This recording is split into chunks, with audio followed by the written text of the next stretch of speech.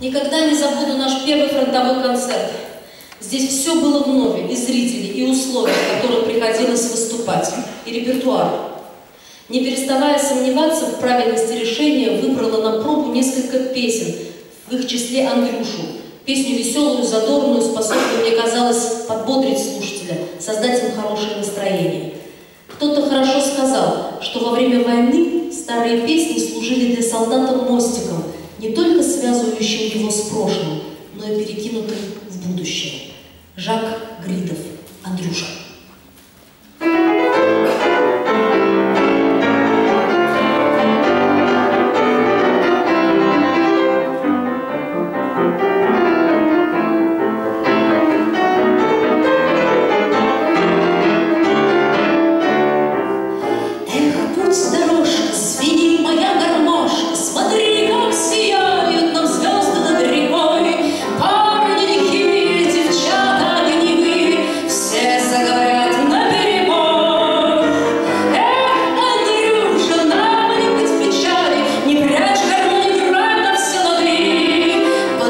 и чтобы Бог